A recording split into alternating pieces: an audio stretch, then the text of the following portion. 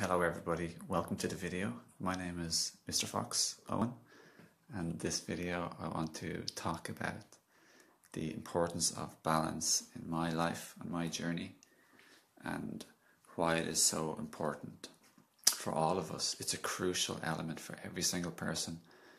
Balance is the wisdom of nature, balance is the wisdom of the universe. So, too much or too little of anything it doesn't turn out to be optimal for us. So, um, the, the, the, the wise person will look to seek balance and harmony and enjoyment in everything. The sage, the cleric, the, the priest, the holy warrior, or S. Sincerely, all animals listen to their body. So, listening to your body and finding balance so for me in my life, it's come in the form of like, don't take too much detoxing powders. Don't focus on detoxification too much. And um, don't exercise too much. Uh, listen to when you need a rest. Good morning, Dean. And listen to when you need to take a break or slow down. It's very important. But similarly, everybody, there's a lot of people who are sedentary and don't do any exercise or enough exercise. Or they don't have enough fun and they're working too much. Or they're just playing around too much and not having enough contribution. So it's utmost important for us to follow our calling because that's what creates the most dis- unhappiness in our own life and dissatisfaction. It's when we have a calling because we've experienced so many things and life calls us and we don't follow the calling, the urge, the impulse to be and to express who we are. That's what causes the most dissatisfaction and unhappiness in life. So always seek to listen to your body and find balance okay? So there's a balance between like health physical health physical health socializing. So i'm a flexible fruitarian basically speaking okay? So when i go out i have like a vegan chai latte or i have a vegan hot chocolate. And that doesn't make any difference to me because it's so easy to digest. Anyway who gives a shit? So many people are so fucking anal. I, i'm just i like using these words everyone because it expresses feeling that I have felt in the past, and I see so many people feeling, you know, become so serious in life. My God, there's a balance between fucking seriousness and having some light-hearted fun. Everyone, I'm a huge proponent of having fun and lightheartedness of being and happiness. Like, what are you? What are you going to live for? Everyone, you're going to die in another few decades or less, and so are your loved ones. So do you want to like get serious in the meantime and have no fun? Of course you don't. Have some fucking fun. Pana says good morning, and Alex sends sparkles and namaste my way. Hello, both of you and everyone else. Lots of love and thanks for watching. So everyone, it's all about balance and listening to your body. So get healthy, get fit, get strong. use the blessing of your body and like do what you love and like in life and look at the areas which you're abandoning or neglecting stuff. But I only look there and fix it, but do not focus on dwelling in a sense of criticism or negativity there. It's okay, we're all doing our best. Life is challenging, and that's okay. It's okay it's challenging, and we don't have everything we want, and that's okay too. But it's essential to focus on what we want instead of the absence of what we want. So, for example, this is tied in a balance to a degree also. Like everything is like a stick. There's two ends to it. Okay, we want let's say a soulmate relationship. We want great health. Okay, what we usually focus on is the glaring, obvious absence of it in our life if we don't have it. Okay, but that's not the vibrational place in which we can allow in and accept or attract the good health or the, the soulmate or the relationship into our life that we really want through all of our sifting and sorting and experiences of life, we have developed in our higher self vibrational field awareness what we want and desire deep down in our heart and deep down in our being. We know what we want, but humans, us, us silly humans, we keep getting in the way of it, okay? Because we keep focusing on the absence and then we don't, we're just not in alignment with our higher self. So when we connect to source and make that our our number one primary goal, connecting with our happy, joyful truth, our higher self, how, how our higher self sees things, which is playfulness, lightness, love, laughter, gratitude, appreciation, and focusing on what we have, um, in and and and making the most and highlighting the good things in life, and the memories and the imagination of the future. When we see the best, remember the best, expect the best, think the best. This is a, a brilliant balance I'm kind of fitting this into this video about balance because it's just so important to learn everyone. Um, we will be able to receive inspired actions which would allow to physically allow in and attract these things that are truly in our heart's desires, such as the job that we want, the career, the calling, the purpose, the soulmate, um, the wonderful physical body. So we just keep focusing on the vision, everyone, of the having. So if you want a really fit, healthy, strong body, focus and imagine in your eye the image of how you'd feel and look like having this. Same with the soulmate relationship. Think, feel, and imagine how it feels and what it looks like. Don't be specific with the exact person. Let the universe bring the person to you but you just focus on the feeling and the image and, and, and get happy in your life right now because the source that you are isn't a being of lack. It doesn't live in a sense of lack and what's focusing on what's absence in your life, okay? It focuses on everything you have and the abundance that you have and all the blessings that you have.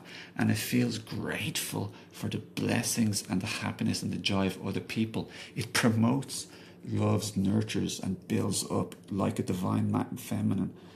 Okay? It does that for other people so it doesn't get like it doesn't focus on envy envy is focusing envy is looking at what someone else has that you want and focusing the fact that you don't have it that's that end of the stick focus on what you have pick 10 things. Pick 10 things that you have in life.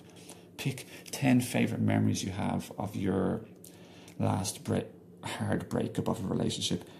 Pick the, your 10 favorite memories. Focus on those.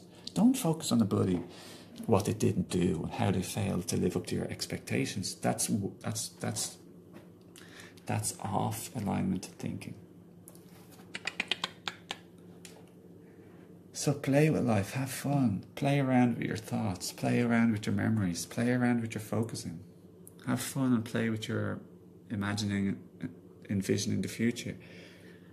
What you focus on expands. What you think about, you bring about what you imagine you can manifest and create. And I, I love these quotations; they're so dear to me. Like they're just meaningful, and they I know them now. So balance. I am um, balance, balance, balance. Anyone got any questions on balance? Um, just remember, seek balance. Know when to start, know when to speed up, know when to stop, and know when to slow down. Know when to take a break know when to switch things around. Don't become too strict or serious in your regime, like the same thing every single day. That's sort of not very intuitive. Listen to your body, be intuitive. And your, your higher self, your intuition does know the answer, everyone. Don't worry.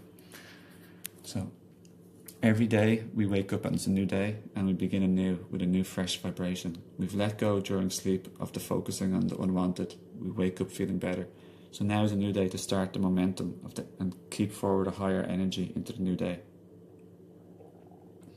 So stuff like a quiet walk or a mindful meditation or sitting down in a five to ten minute meditation or more can be extremely helpful for allowing us to quieten down enough to receive inspired thoughts, a flow of inspiration.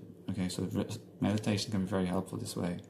And then from this place, we can also start to think and direct energy into the into our dreams and visions of what we want, not what we don't want, as I explained. So it's not too complicated, everyone. It's not too difficult. We can all do this. And um, we can all be gentle on ourselves and each other with finding soothing, gentle thoughts on ourselves. Just a little bit better than before, that's all. And we will make great progress. And I totally believe in you. And I know the work I know there's so many good things coming your way, like truly and utterly, and like I'm excited to find out what the future holds for me and for you. You know, so so be, the the objective is to enjoy life and appreciate it, and now, not for when we're waiting for what we want to come, because we already have lots So tune into the feeling of already having what you want, your desires. Don't live from the space of reality like now, noticing its absence, because vibrationally it's there for you if you can just allow it in and stop getting in the way. And we are doing this little by little, everyone, like described in this video. It's it's simpler and easier than we think. It's just a practice. Um, okay, so Alex Andra saying, um, okay, so you've slipped into a pattern of negative thought, Alexandra. That's okay. So then you just simply pick a new sentence, a few new words for yourself. Like, okay, I've been been sort of negative. I've been a bit sloppy in my thinking. That's okay. I've noticed that, and now I'm going forward. I could, I could have a shower or a bath, have a nap, go for a walk, or meditate for a few minutes, or simply start picking more selective thinking, such as, okay, I did that. Now it's new. I'm going forward in a new, more positive light things aren't as bad as I'm making out, and that's just my old conditioned pattern. Ha ha ha. So we can all let go. We don't have to beat ourselves up for getting into sloppy thinking habits, everyone. We all get into sloppy thinking habits sometimes. That's normal. That's like part of the, what we've experienced being human so far. There's nothing wrong with getting into sloppy thinking like self criticism, blaming, or shaming. It's the power when we recognize and see this. That's beautiful. That's powerful, Alexandra and everybody so we can let go of, of, of beating ourselves up or the sloppy thinking. We all do sloppy thinking, it's okay. So it's just a matter of refocusing on the presence of what's co- what's coming and what's present vibrationally and what's also present physically in the blessings of our life. So yeah, yeah, it's as simple as that. It's as it's as it's as okay as that. And every day is a new day, and each sleep subsides the negative momentum of thinking that we used to have. Every shower with essential oil and baths and Epsom salts and um, baking soda helps me beautifully to relax. And we are all loving beings. We are all, when we're all connected to the truth of who we are, our source, we're all so beautiful. Thanks, Benet, for saying I'm beautiful. That's nice for you to see, and that's your aligned state for seeing that. Because not everyone thinks the same, you know? We all see depending on how aligned we are. So when one person is angry or upset with you, they're just not, not in alignment. So then it's our job to see how, if they can trigger us out of our alignment. The objective of life is to follow your dreams and allow them in, your desires that come, and they're always new desires. That's exciting to experience and to create and to allow in new experiences that we want. And the other thing is to stop putting our happiness and dependence, our happiness, stop putting it on other people. Allow other people to not be the cause of our unhappiness. And that's a bit of a challenge because we've hooked into wired into making this in this lifetime. We've been conditioned to make everybody the source of our happiness or unhappiness in this life. Okay, everyone, have fun with this. Play with it. Be have fun. Be gentle on yourself. Don't be too serious. Okay, just in any moment, just think a better way of seeing it. That's all. Really, that's the simplest way of putting it. An improved vibrational thought, more in alignment with your truth and your source, and then you're just gonna keep feeling and making better decisions for yourself in life from a more inspired place and from a more heart centered place. And it's just going to become better and easier little by little. Don't worry about that. Everything is a lesson or a blessing. A blessing. A lesson or a blessing. Life is short, everyone, so make the most of it and carpe diem. Okay. Sandy says, thanks, Owen. Have a great day have a great day, everyone. Lots of love, and uh, I'll see you again soon. And um, I look forward to seeing you again another live video. Hope this video helped and it's been enjoyable for me to share. I've enjoyed it. Thanks.